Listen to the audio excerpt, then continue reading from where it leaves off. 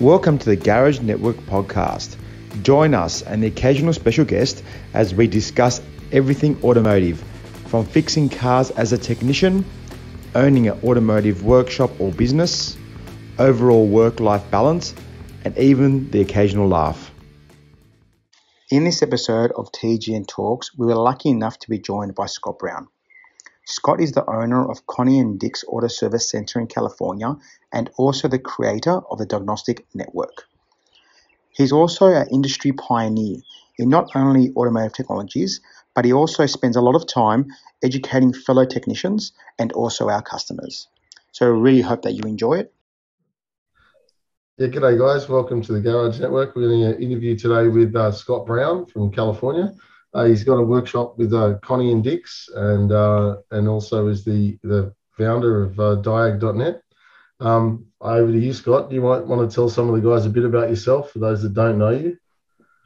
Sure. Thanks for having me, guys. Uh, this is pretty cool to be able to do this long distance uh, talk and uh, presentation.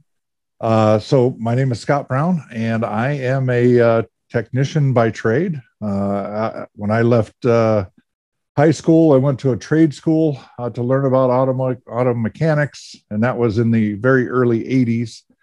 At that time, uh, computers were just now being introduced to the vehicles. And when I got into the field, I saw that uh, most technicians didn't want anything to do with these computers. So I saw that as an opportunity. And uh, I also realized I didn't know hardly anything about cars uh, uh, compared to what was in the fleet. So um, I was on a mission to learn everything I possibly could and uh, get on top of it. And uh, it's been an awesome, awesome ride.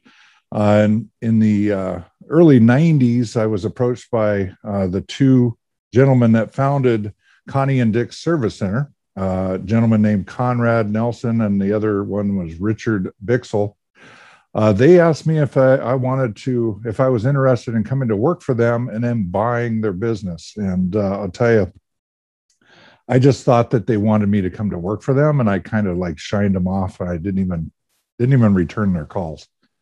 Uh, but somebody was persistent enough to keep pushing me, and I finally set up a, a lunch with them, and and uh, the rest is history. I, I was able to buy the business, buy the building, uh, modernize the company and uh, continue to uh, chase the, the technology. And uh, boy, the technology has really uh, taken off, and it's in the last oh five or six years, it's really picked up. And that's what we're going to talk about tonight is the ADAS stuff, the advanced driver assistance. I've been studying this pretty heavily over the last few years and in fact, I'm doing a lot of hands on instruction uh, here in my workshop. I'm partnered with uh, AES Wave. Uh, these guys are out in uh, California.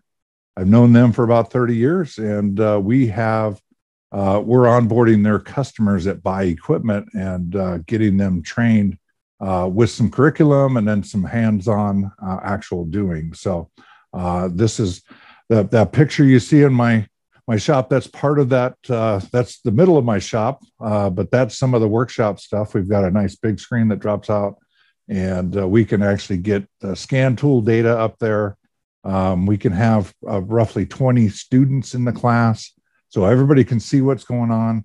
People are operating the tools and doing the calibration and, and all that good stuff. So um, so i'm happy to happy to be here guys and uh, uh, anything else we're happy to have you. I think I think it's yeah, amazing. No, just All fantastic right. to yeah. fantastic to have you. Okay. Mate. Really good. Yeah, so we had a call last week, and uh, so we talked about, hey, what are we what are we going to talk about? And I said, well, hey, I've got this. I've got a short presentation on some ADAS stuff. This is the same or similar presentation to what I gave uh, to the folks at SEMA, and that is the Specialty Equipment uh, Market Association. These are the guys that make all the aftermarket stuff they're concerned about the ADAS uh, features that are being put on the vehicles and what's going to happen to them when they lift them, they put bigger tires on them, they modify the vehicles. And so I was asked to give a presentation. And so um, we'll we'll walk through this presentation. It's pretty well rounded. Uh, it doesn't go in depth, but it'll talk about some of the things, some of the questions that came up in your garage network. Uh, one of them was about tooling, uh, OEM versus uh, aftermarket, and I've got a couple of slides here that uh, that hit right on that. Um, and uh, so let's let's go ahead and and get started here. So if you want to get into this uh, business of doing the ADAS stuff, you're going to have to know have some knowledge of what kind of software you need um, you're going to need software actually from both the OEM side and aftermarket. I have experienced both cases where uh, late model vehicle, the aftermarket software couldn't do a job, but the after the OEM could.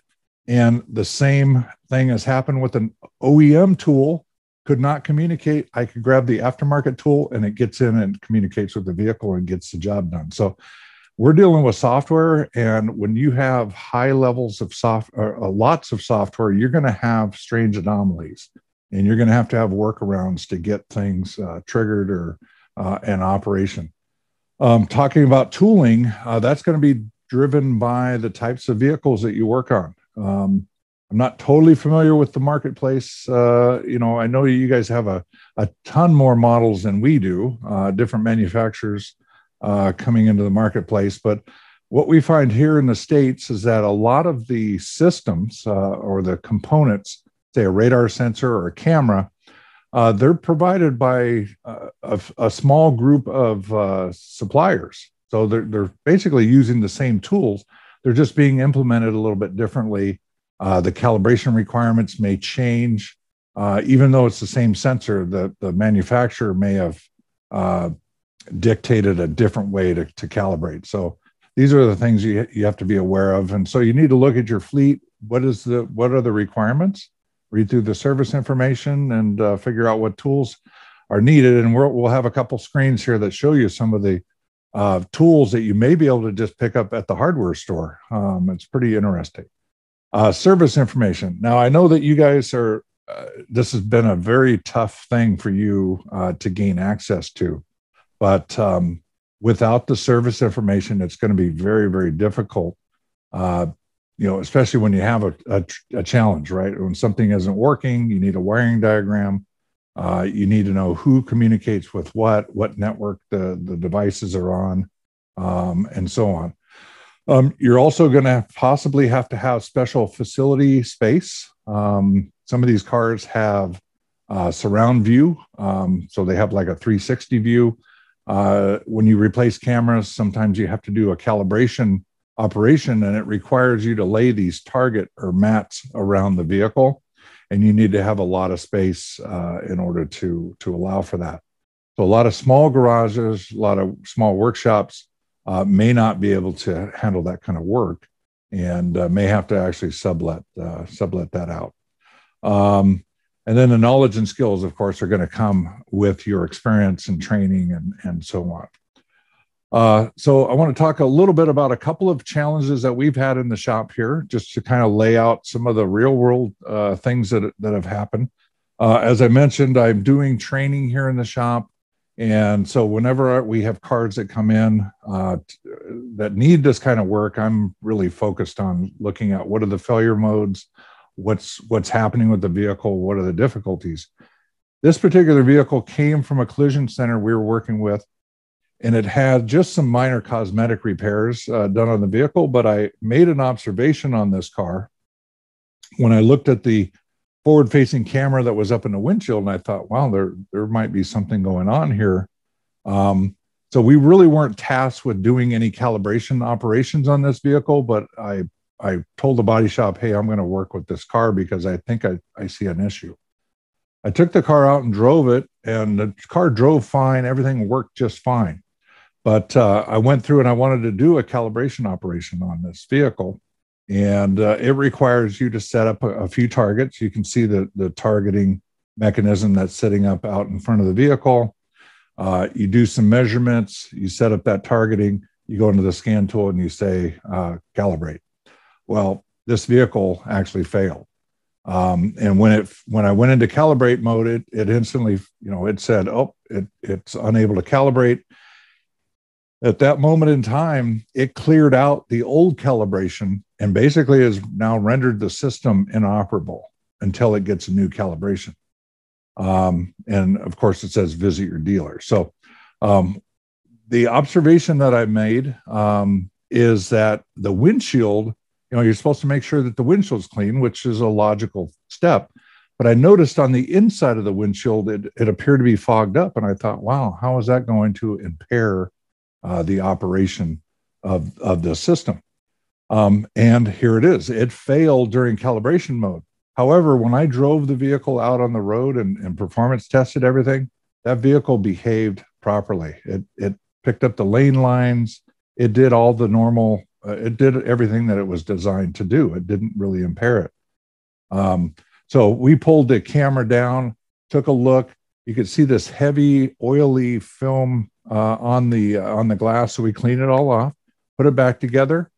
We hit the button on the scan tool to just retry it, and it instantly calibrated, and it says everything's fine. And this is what we end up with. Um, we always want to take a value. You can go into your scan tool and usually do an initial measurement after you, you put your targets up take an initial measurement just to see where is the calibration currently in in the vehicle and then you want to do when you do your calibration then you're going to go back and take that measurement again and record it you want to make sure that you didn't drift too far uh, because something you could have induced a problem but it's always a good uh, practice to take a snapshot of what the vehicle had in it before and then what it has in it after you're done uh, with the uh, with the service. Um, talking about the tooling, so in that particular case, you know, we're using an aftermarket device, and if you look, um, this is a service information for a 2020 uh, Nissan, and in the instructions in the service manual, they basically give you a PDF and it has these black and white little targets. You're, they expect you to print these things out, put them on a piece of paper, glue them on this board, and put them all up in this dimension here.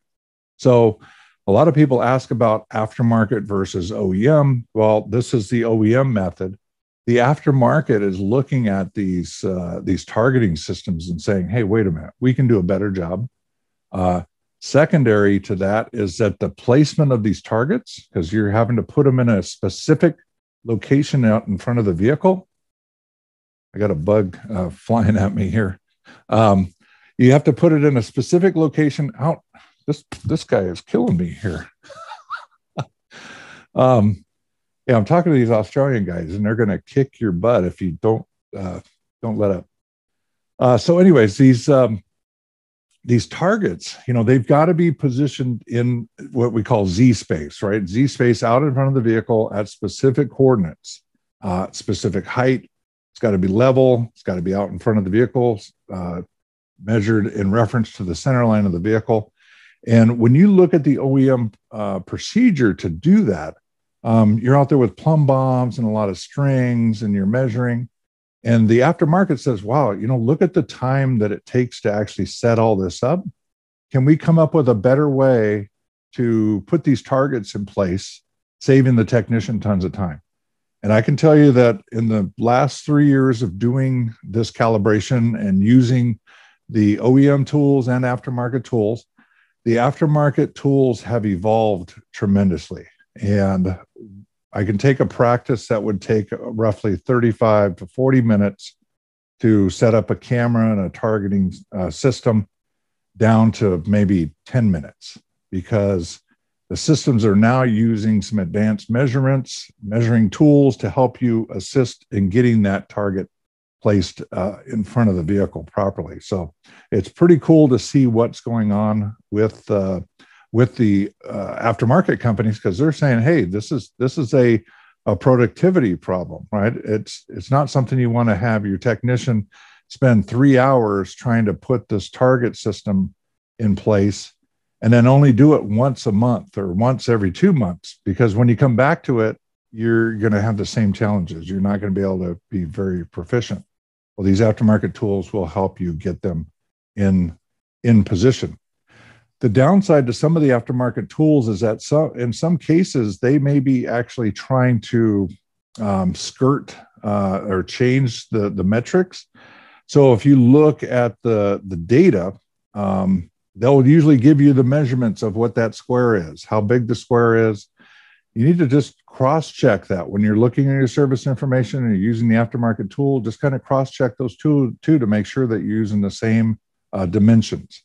Um, that's very, very beneficial. But if the if an aftermarket is saying, "Hey, you're going to use a smaller square, but you're going to move it closer to the car to offset for the size," that I don't feel is a good uh, a good practice to follow. Um, it's better to to follow the same dimensions that the that the OEM is uh, dictating. Um, and again, this is another this is a Hyundai Kia type uh, target here. Um, it's also used by uh, Tesla uses this. Um, this target, they give you all the dimensions. You could actually make this target up yourself, and um, and have it take those dimensions and go to a printer and have the have the printer put it up on a board. But the OEM they give you this tripod here, and then they they there's also some other measurements um, for the for the uh, pitch and, and yaw and the aftermarket stuff. It basically it's rock solid. It just has you square it up with the vehicle, so there's no question that you you don't have it uh, pitched or yawed. And here you've got a challenge with possibly having that easily pitched um, on its uh, single post. Um, here's another case. This is a vehicle that was actually in our shop and uh, came in for a wheel alignment.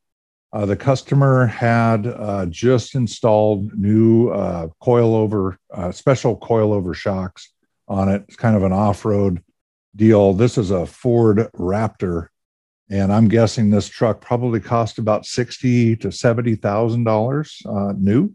Uh, this is a 2018 model year truck, and it has a camera on the on the windshield, and it also has a radar sensor up in the front uh, grill. And I'm we're working hard with my front office to make sure that when we get a car that comes in for any type of procedure, we're looking at the inventory on that vehicle to determine if there's any other operations we need to do following a uh, procedure. And alignments are one that typically dictates some type of operation. The problem here was that we ran the, vehicle through our normal service information and we went to the went to the uh, uh, instructions for doing a wheel alignment and there was nothing in there saying hey aim the camera. However in our wheel alignment program um, fortunately it gave us a, a big warning when we were into the when we first fired it up and it said hey uh, this camera alignment is going to need to be done whenever these things are done. If you look at the second bullets they're change in tire size or a suspension repair or wheel alignment. Uh, so here you've got to do the uh, camera aiming on this vehicle. It's also very important that you pay attention to the fine print. There are sub notes uh, attached all over the place, and it's very, very critical that the technician take the time to read it. I have been guilty myself of, you know, just going real quick and just blowing through the service information and missing the fine print. And if you look at this here, it says uh, the alignment completion is indicated on the diagnostic scan tool. If the alignment is unsuccessful, check the in- interior mirror for proper installation. And then the second note, it says the front camera malfunction service required message in the instrument panel cluster disappears as soon as the system is aligned. Okay. And that's the message you're going to see when you put it into this mode. It isn't a it isn't very hard to do. You just have this have to have the scan tool. You're going to go into the menu system. You're going to make sure that the car is setting on a level surface. The, the tire pressures are correct. You've completed the alignment and you're going to go in and push a button to say, hey, we're going to relearn the camera system. And then you take the car out and drive it, drive it in the environment, and it's going to basically learn. And uh, and so we, we were able to complete that process pretty quickly. But the other thing here is that I like to always um, exercise any other systems that are on the car, uh, especially uh, the adaptive cruise control. And on this particular car, I knew right away by looking at the controls it has this set, setup that's on the on the right side here and you see the little the, the two arrows opposing arrows close together further apart those are the selector for selecting your distance or your following distance in the cruise control mode. So that told me that it has adaptive cruise control. However, in order to turn it on, even though there's an on off button right there, you have to dig into the instrument panel or the, uh, they call it the human machine interface. And I had to go through multiple menus and I found where it was actually turned off. So I had to turn it on and then take the car out and drive it and exercise everything. And, and you, it's always good practice to, to go through that and make sure everything works. Well, I did that. Everything worked just fine. Um, we gave the car back to the customer. And um, when he was checking out, uh, I explained to the, him, I said, Hey, by the way, I turned on the adaptive cruise control for you. Um, I noticed it was off. And he replied, He says, Wow, I didn't even know it had that system on the car. So, one, one of my points here is that consumer education is, is a big opportunity.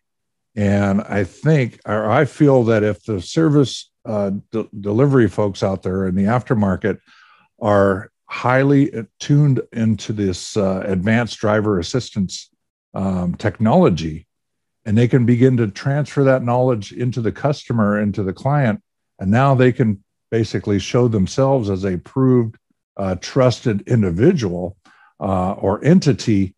Um, you're going to help move people into the next generation of technology, in my opinion. So I'm working on uh, creating some curriculum here in my shop because I want to basically host some classes, uh, some technology classes just for uh, uh drivers out there.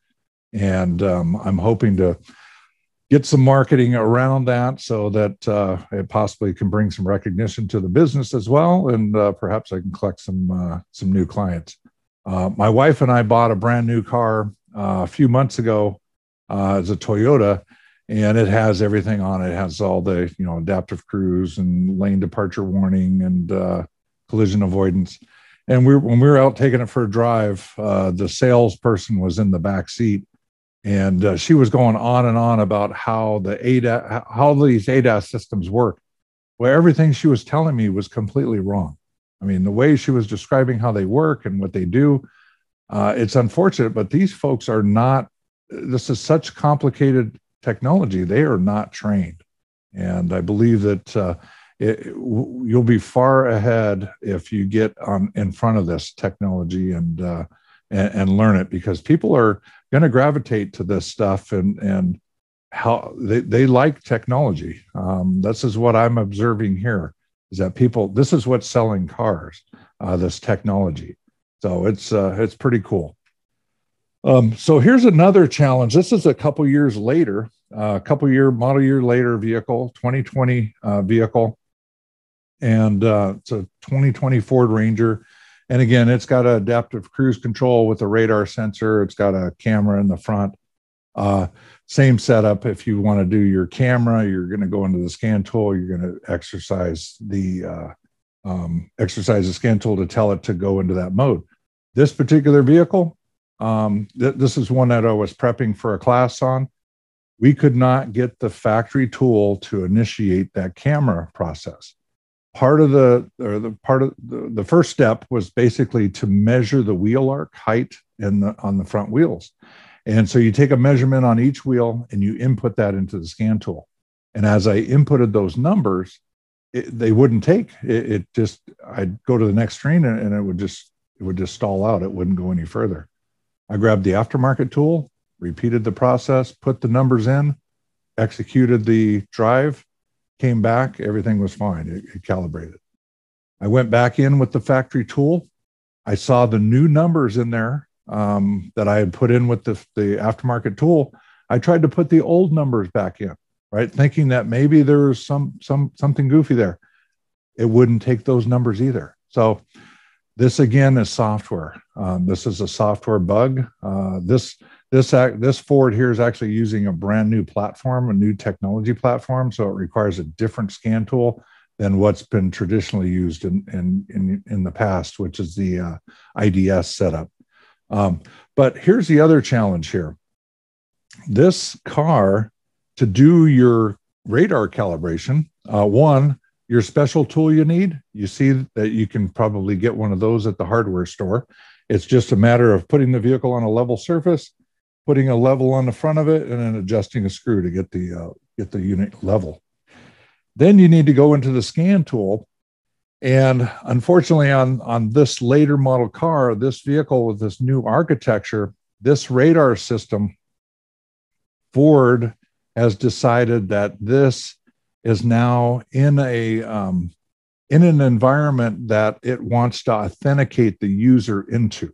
Okay, so just doesn't want anybody into that into that system and and clicking buttons. So here in the states, they want to um, they they're using a trusted uh, uh, secure partner, somebody that has a trust factor with the aftermarket, and that is the NASTF group, the National Automotive Service Task Force.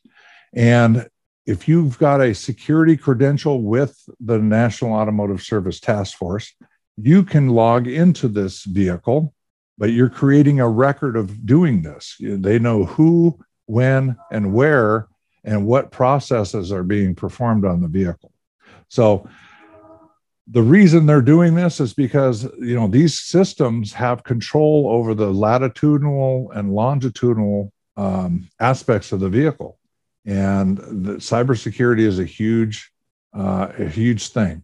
Um, so this this is something to be aware of because this is probably going to be coming your way as well. But it is fortunate because now the aftermarket has a gateway into an OEM level uh, operation through a trust factor, um, which is which is pretty awesome. Um, and this is basically what the tool looks like. It basically pops up, you log right in. Now you're creating your your access, and then you go in and and do your do your job. Pretty cool. So if we look at uh, this is looking at European vehicle, uh, an Audi I was at the LA Auto Show in Los Angeles here, and I'm I'm just about 35 miles east of Los Angeles. So to give you some uh, geo perspective, uh, went down to the LA Auto Show. This is 2019, so this is you know just before COVID and the world totally changed on us. And I saw this car, and I thought, "Whoa, man! I'm going to take a picture of this thing. Look at look at all the technology. This thing has uh, laser lidar, infrared, radar, uh, a round view camera here. It's got ultrasonic sensors. But look at these sensors. And I don't know if you guys have seen this, but I have I have one of these sensors right here. Okay. This is one of those LiDAR sensors that's sitting up here in the grill that you see. Um, and it's it's pretty incredible. Um, I'm going to show you what this actually looks like. So this thing has a lens on the front of it, and I basically we've removed the lens. It's got a heater grid that's on it, and there's not much you can see. If I put the uh, that over, you, it's hard to even see through it. Um, it looks blue when I look through it, but this thing is a super delicate device. It shoots a laser out of this. Uh, this is where the laser comes out, and it's going to hit this mirror.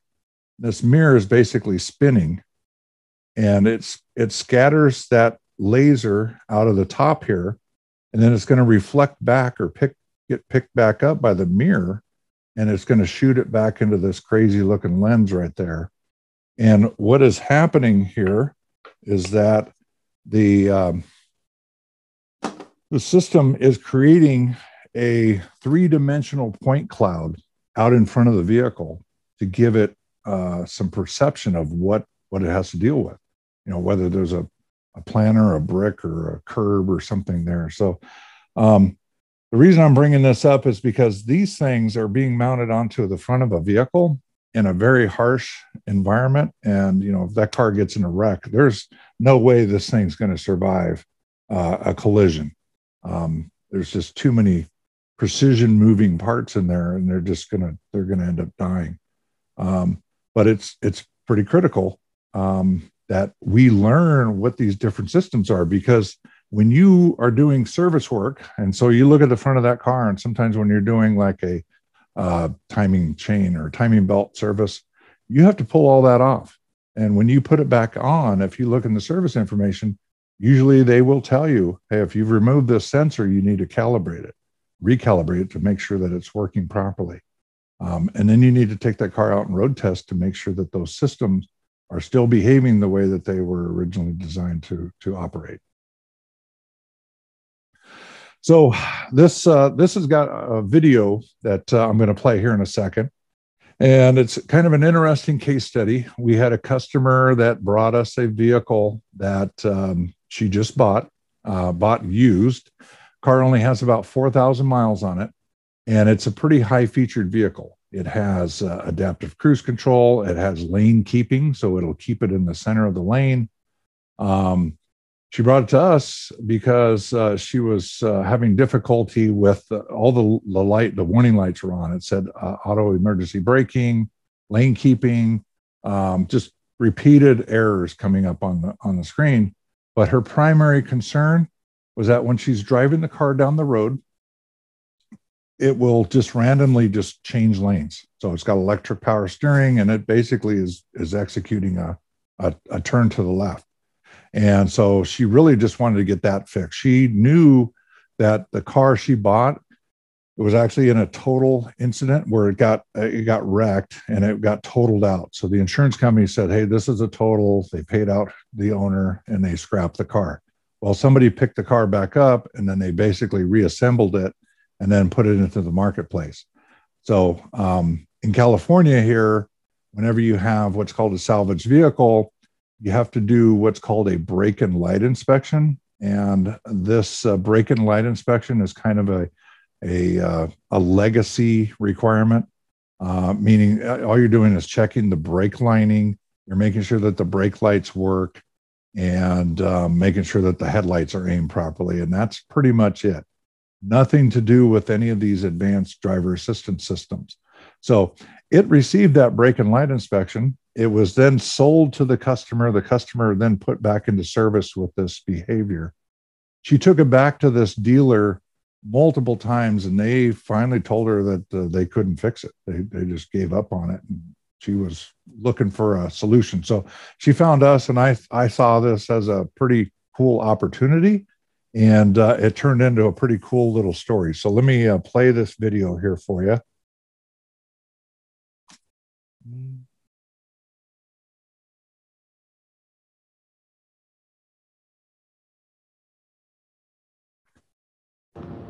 All right. Well, we recently were uh, tasked with solving uh, a complaint on this 2019 Honda that had a salvage title, which in the state of California means that it uh, had to have a mandated brake and light inspection. Well, the complaint on this was that the vehicle randomly would uh, jerk to the left and actually make a lane change uh, if you weren't paying attention. And also, all of the uh, ADAS related warning lights are on the ACC, LKAS, AEB, and so on. And uh, so we did our walk around uh, to take a look at the vehicle, uh, confirm that all the lights are on. Took a look to confirm that it had uh, factory glass in it, which was good. And uh, so now we wanted to take it out for a road test to see if we could verify the complaint. And we did. So now I got the steering wheel cranked this way. And I'm going to lift on the throttle. Boom. See that? So after that experience, we brought the vehicle in for an inspection and found that the left lower control arm pivot bolt uh, was backed out.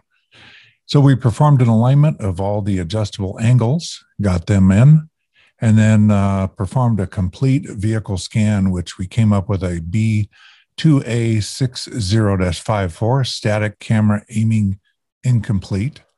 Uh, P2583-54, millimeter wave radar aiming incomplete. And a, a P2583-76, temporary stop of the integrated driver support system, misalignment of the millimeter wave radar.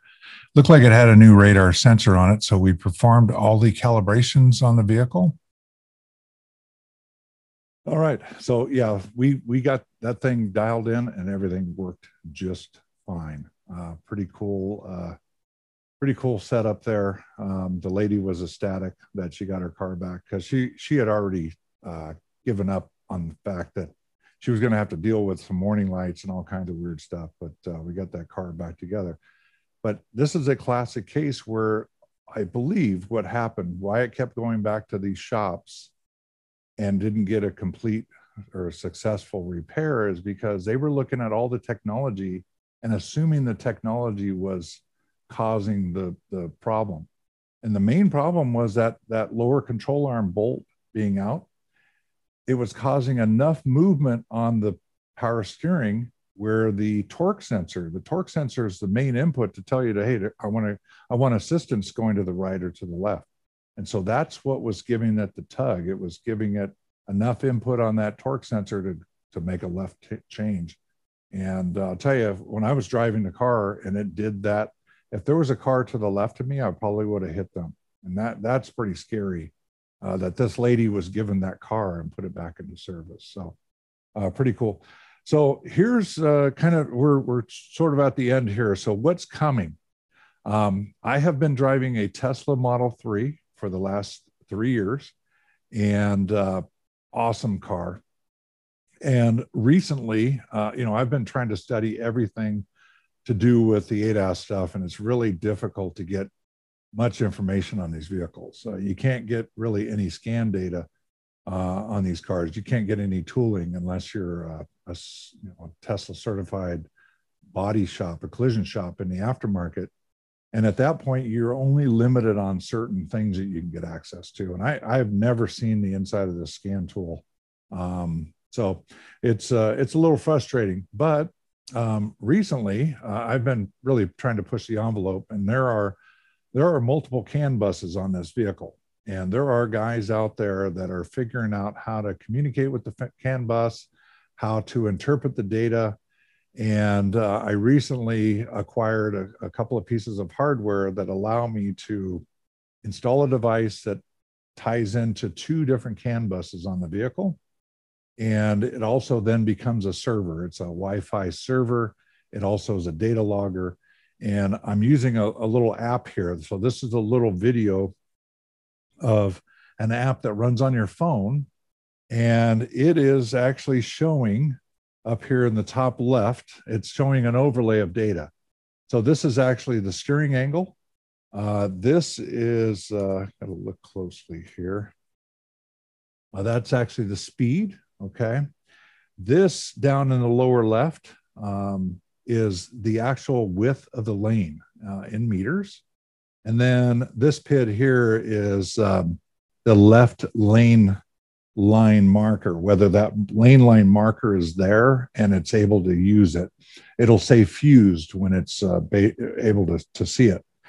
This data, now these four PIDs, these are, you can control these. You can tell it whichever PIDs you want uh, on the screen. But uh, the reason I'm bringing this up is that there are a lot of folks out there right now looking at the service cycle of doing an ADAS calibration and then taking the car out and driving it and making sure that everything is working properly, uh, making sure that the, you know, the lane keeping is working, uh, adaptive cruise is working. And it's hard to validate that. So there are some folks out there that are making an app where you put a, an adapter on the windshield, it's recording your drive, and you're kind of narrating, but it's not able to actually see the data that's taking place on the car. So imagine if you had this, and I, we're getting close here. I, I would love to see this uh, across applied to other vehicles, but uh, we'll play this little video here. And I'm actually, this is me driving to work. I'm in what's called uh, Navigate by Autopilot. So I have a destination.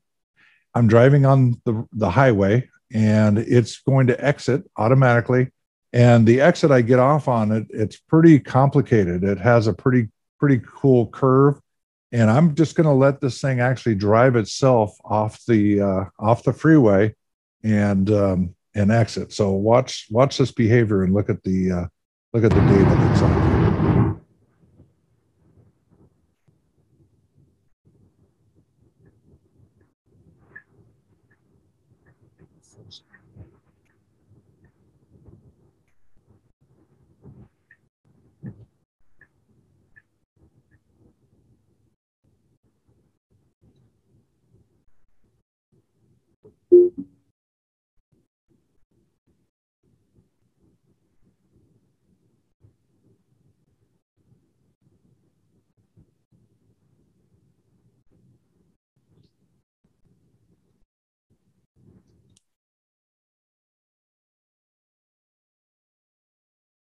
So, what do you think about that? Pretty cool, huh?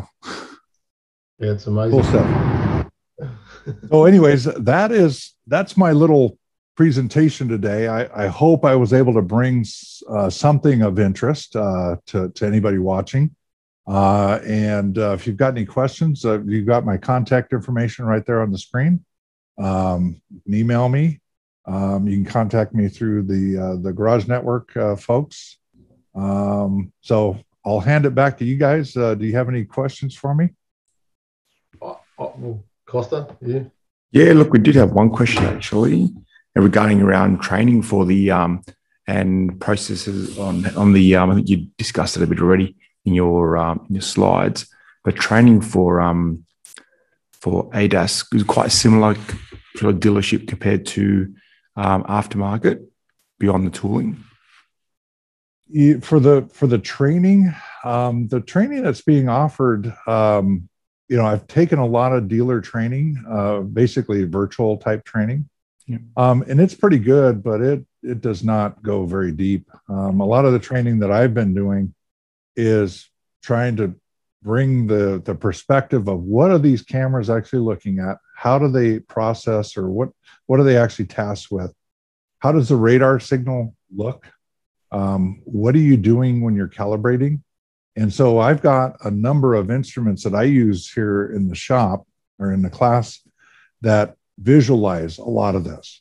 And um, i don't know if you guys have seen the the video that i have um, it's it's on YouTube, and it uh, it talks about the convolutional neural networks, and it shows the camera, and it's identifying uh, vehicles and objects. And I'm riding a bike around in, inside the inside my shop, and you can actually see a radar signal. Well, we use we use those tools to show the technicians what what it is that these cameras are, are looking at. This is not the stuff that they're teaching at the dealer. In fact, I had a guy from Toyota reach out to me and said, Hey, I came across your video. I want to know how you're getting these, how are you doing all this? Because we want to put that in our training program in the dealer or in the in the OEM uh, manufacturer training. So, um, so yeah, I mean, there's good foundational uh, training, but uh, honestly, there's not. Uh, they don't go deep enough uh, for me, and I I think that to get that information to the technician so the technician has a good visual on how the, the behavior of these systems work and how the, the different sensors can um, can interact with each other and how the vehicle is making decisions. Um, I think the aftermarket again is uh, is going to be on top of that, uh, bringing also forth the uh, the the challenges, right? Because the dealer typically they they see the new car and then they see they see it for the first three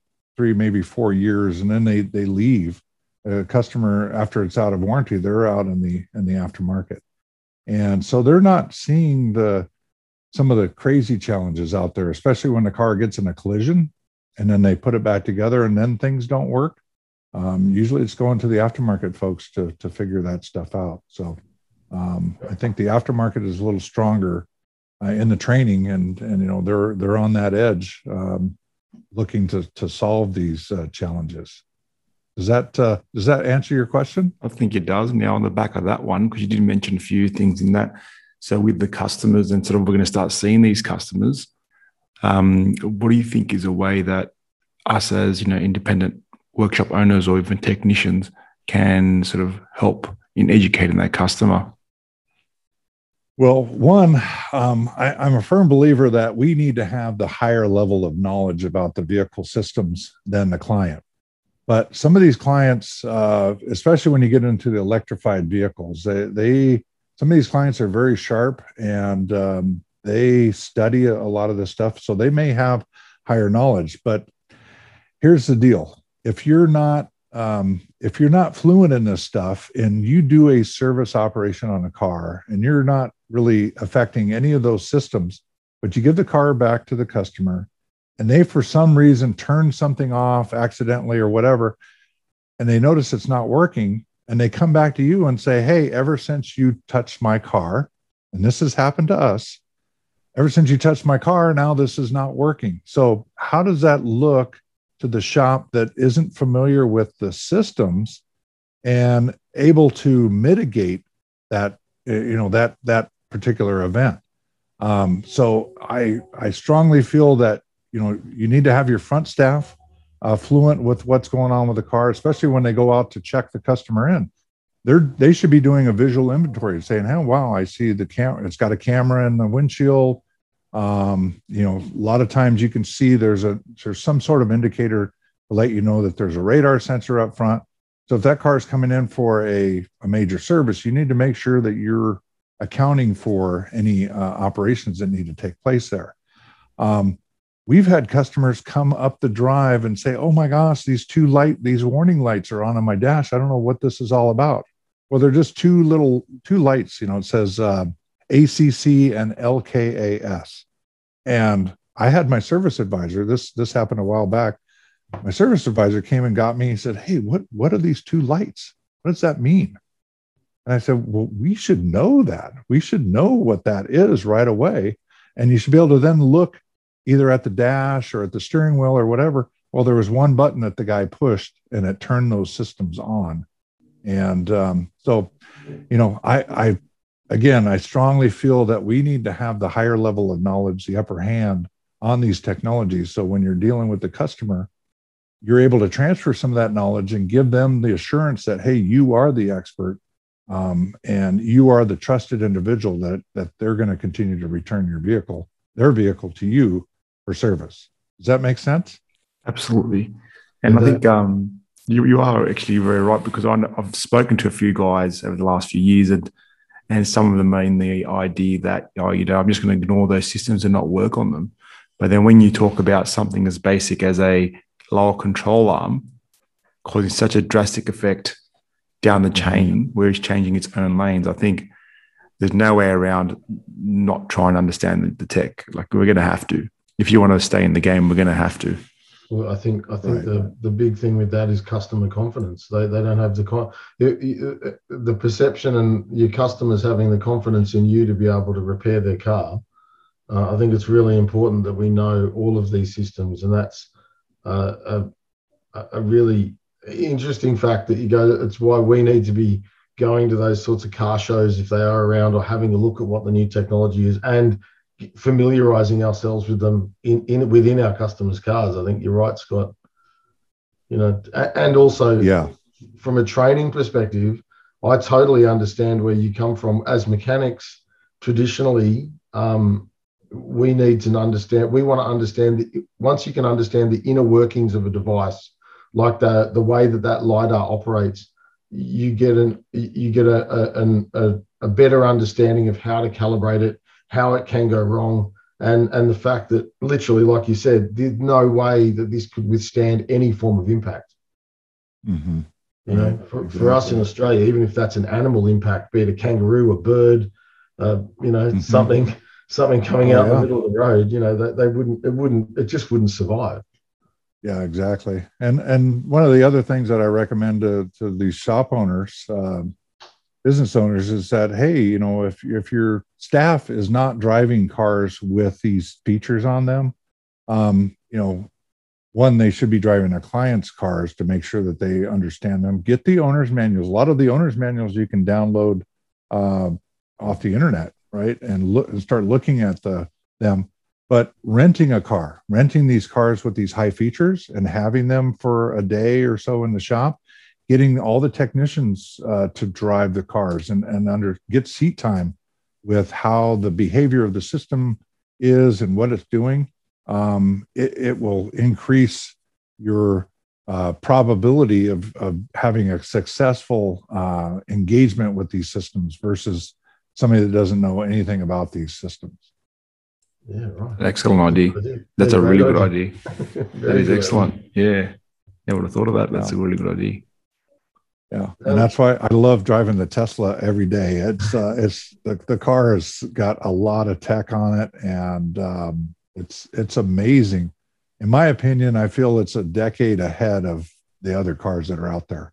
I mean, I'm driving my wife's car, and when we first got it, we're driving it down the road. We engaged the cruise control and the lane keeping. and it's going down the highway and you can just feel it it's like it's ping-ponging in the lanes it's it's finding the the center my wife goes she goes uh you can fix that right and i said no i'm pretty sure that this is the best that they could do um and she goes well that's not how your car behaves and i said well that's that's because I'm driving a Tesla. Tesla hasn't wow. figured out. yeah, yeah, because yeah, it's Tesla is basically on rails. I mean, it is. Uh, it's it's absolutely amazing the the behavior. Um, it's pretty cool. Yeah, I haven't. I, we, we, had a customers one I could drive around the block, but I wasn't game to try any sort of hands free driving. I was like, no, nah, I'm not doing that in someone else's car.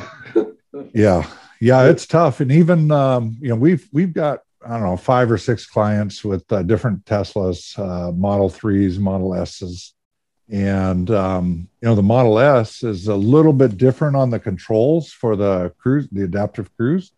And so I get in the car and I'm thinking I'm going to engage it by doing the same thing that I, I do in the Model 3.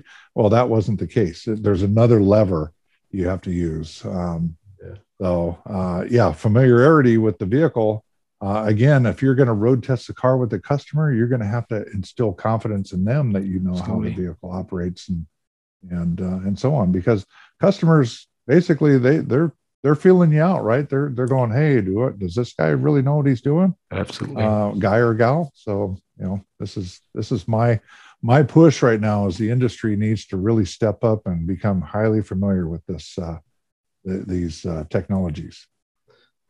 Absolutely. I, I do have a question for you, Scott. What do you think the challenges are going to be for the independent automotive? What do you, as a business owner, what do you think the uh, the biggest challenges are for you are for you and your business moving forward in 2021?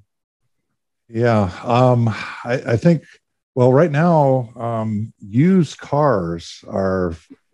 It's hard to find used cars. People are finding out now that it's worth it to keep their car going invest money and to keep their their car rolling. We are busier than ever right now in our in our service uh, business. Um, you know, last year was kind of a lull. Um, I think the the bigger challenge, you know, as people can start buying new cars, say the next uh, couple of years, um, those cars are coming with a lot more newer technology, and these ADAS systems are getting better and better. So you're going to have you're going to have these older legacy cars that have some ADAS systems on them that just don't work all that well. And now you're going to have newer technology. Um, it's uh, the biggest challenge is staying ahead of the curve on the on the vehicle technology, uh, so that we can uh, continue to to you know bring the service. You know, here in the states, we in the aftermarket we service seventy percent of the vehicle fleet out there. So the dealership, the OEM dealership, they don't have the uh, bandwidth for this uh, kind of kind of stuff. Yeah. That's huge. I don't know. I don't know what. Our, I don't know what that's seventy percent. I feel is is massive. It's huge. It's massive. It is massive, and um, so the, the the the manufacturers actually rely on the aftermarket, and this is why we see Toyota, GM, Ford, um, some of the other manufacturers, they're they're pretty friendly to the aftermarket. They want to make sure that we have access to service information. We can, you know, we can buy that service information, so we can deliver a competent service uh, experience for their clients and keep those clients in those cars. So, the average year, uh, age of a vehicle is 12 years roughly and here where we're at, the climate is so good that it's it's easy to see 20 year old cars in our shop all the time. And they're in good shape and we keep them keep them rolling. That 20 year old car, if it went to the dealer, they wouldn't have anybody there that even knew anything about it. Um, that's that's just the way it is. They they have a lot of turnover. So um, I, you know they they do appreciate the aftermarket, but um, you know it, it's a it's a pretty tall order to stay on top of multi brands and uh, stay competent and and i think you're going to have to continue to market yourself to that client and let them know that you are the trusted partner and this is why it's a good decision for them to come to you uh, to your facility rather than go to the oem uh, dealership I, I, don't know if you've been following Scott, but we've been lucky enough to get the legis- the right to repair legislation finally got passed. So the, the manufacturers yes. have 12 months, well, July next year. So by roughly this time next year, we have to have access to that service information. So uh, so it's been really we've had a win, uh, but again we're going to be awesome. What we, wish for. we've got to get access yes. to a lot of info. Yeah, I have been staying in touch with that. Uh, so that's that's great, great news. Um, I, I, really hope that the uh, OEMs uh, uh step up to the plate and and fulfill the the requirements. Um, and uh, yeah, I've uh, I, I, know you guys have been been really battling for that for some time, and uh, finally I've crossed that uh, that threshold and uh, and and brought some brought some relief, right? Some some high yeah. uh, high hopes there. So I hope that that. Have you seen any impact yet? Have you seen any uh, OEMs? No, there, yeah, there have been. There, yeah, no, there cost of there. No, there have been. There have been a couple that are starting to ease into access because yeah, right. it's a ten million dollar fine for them. I believe that. Um, I believe that we can now buy the not not not our, not cars that we service all the time, but I believe you can now buy your Peugeot credits um, to get access to Peugeot information. Uh, something that you did mention before, Scott. How many how many manufacturers do you think there are in America, uh, like in the states? Like what what's your car park? You know, you've got GM, Ford, and most of the Euros, or what's? Or... Yeah, you've got a you've got a dozen manufacturers roughly. Yeah, you have something like eighty, I believe, right? Yeah, we've got a big we got a yeah, big car park. Big car park, yeah, big variants. Yeah, you know. so in order for a manufacturer to bring a car into the U.S., uh, they've got to meet all kinds of uh, strict uh, regulations.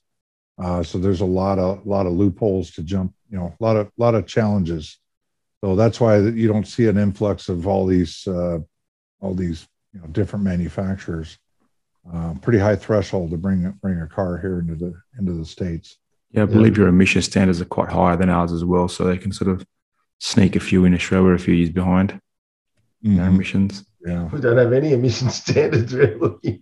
I think we copied we copied Cal- I think we're Euro four or Euro. Yeah, we're still way behind. We're way behind yeah. something else. Huh? Well, you have oh. OBD, right? You yes, we do. we well, just got introduced last year. Yeah. yeah. Yeah. Okay. Cool. All right. Right. Uh, well, I hope that uh, I've got I, one more for you. This, uh, Sorry, I hope my presentation was uh, beneficial for you for you and your uh, your your followers out there. Um, and uh, no, excellent. What, about uh, your your diag.net? Do you want to maybe let listeners know about that? Yeah. About? Um, so diagnostic network, you know, it's uh, it's it, uh, primarily it's you know a lot of users in the states here, but uh, we've got folks from from all over the globe a uh, lot of diagnostic discussion, a uh, lot of problem solving going on. Um, there's some really interesting uh, things that that pan out. Uh, so we're in our third year since launching this uh, this uh, new platform, which launched in 2018, and we just crossed 11,800 subscribers. So we're on our way to 12,000 here and um, you know things are things are moving along. We're we're uh, developed. You know, this platform is uh, it was fresh and clean, and um, and it's pretty easy to uh, to to find what you're looking for. Um, you know, so if you're interested in just certain certain types of discussions, um, whether you want to look at questions that are that are being posted, or you want to look at case studies, or if you want to look at certain topics, uh, whether they're related to network communication diagnostics, drivability, emissions, uh, propulsion, um, and so on. There's there's all sorts of stuff that you can actually filter and and set up your your uh, your desires for uh, your feeds and notifications. Highly recommend. Um, there's yeah, there's also a you know we have a resource section there. A lot of guys are asking, hey, where's the waveform library at? Well, we have what's called a resource uh, area, and we got uh, I, I worked with a, a handful of uh, top level diag techs out there um, in the in the very beginning. And uh, they gave me access to their they sent me their libraries of of content and i filtered through them and uh, we sub- started submitting them into what's called the resources area. So if you log into the site and um, and you just pull down up at the top it says all messages you pull down where it says resources, you're going to see um, you're going to see a feed of all the stuff that's being added there. And then you can go and click search. You can filter by manufacturers. You can say, hey, all Asian manufacturers, all European, or you can go down, start drilling down into them. But um, the cool thing here is that we're working on some pretty cool search technology uh, that will allow you to get right down to what it is that you're looking for. So, you know, a lot of engines have specific uh, product codes. Um, you might have like an, you know, like an LS motor. You might have a uh, L, LS1, LS4, or LT, um, LLY. Well, you can type that in and maybe type the type of signal you're looking for. So crank sensor or the acronym, the, the OBD or the SAE acronym, uh, uh, CKP. So you type in those two little things, it's going to take you right to the, the content that you're looking for. So we're continuing to tweak our, our search. We're actually working on a brand new search plat, uh, search operation that's going to do some pretty crazy stuff, um, kind of like what Google does, but it's for the automotive uh, people. Um, I know you guys probably use Google for doing research, uh, but this will be like something you want to go to to search because it's going to pull data, uh, curated data that's in other areas and help bring some of that content to you. So we're working on on making diagnostic network a, a true uh, high valued asset for the modern diagnostician. It's pretty cool. Yeah, it's great. Really cool. It's great. I, I joined when you were back. Was it 2019 you were in Australia, Scott? That was actually 18. It was just before 18. we were launching this. So it was Yeah, kind of an interesting, uh, in, interesting dilemma. So when, when I made arrangements for going down there, I didn't know I was going to be doing this new, uh, this new platform.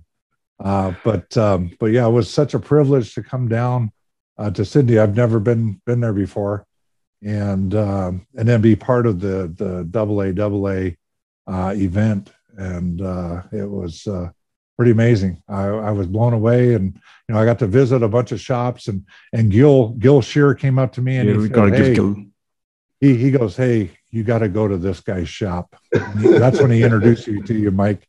He goes, "You got to go to this guy's shop," and I said, "Okay, I'm uh, I'm going to go to that guy's shop." So, uh, I sure I sure did, and man, I'm glad I did. Um, I know you had the longest commute probably of of all the guys in your uh, commute to work. So, so yeah, the downside to living next door to your business is that it's hard to to step away from it.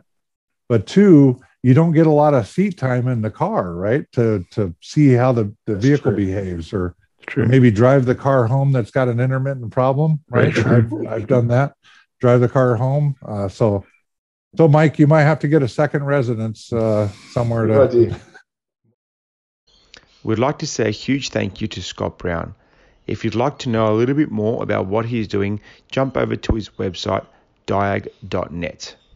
Also, don't forget to subscribe to our YouTube channel, our podcasts, or join our private automotive technician Facebook group.